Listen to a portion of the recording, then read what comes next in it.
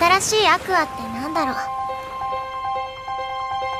新しい学校に行ってもアクアを続けていく。それがみんなの答えなんだもん。やる気が出てきたぞギラ新しい学校行ってみるってのはどう？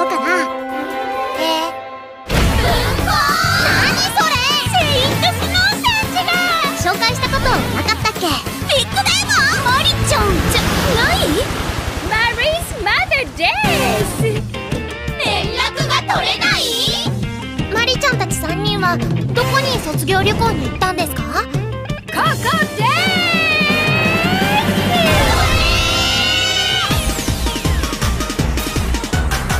でよかった。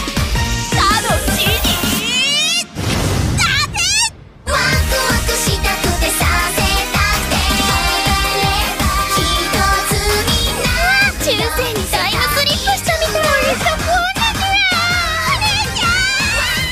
お願い行方不明マリが結婚するのけ結このライブを任せてほしいのよくここまで来ましたわね新しいアクアか空愛ローはくだらなくなんかない今までやってきたことは全部残ってる何一つ消えたりしないただい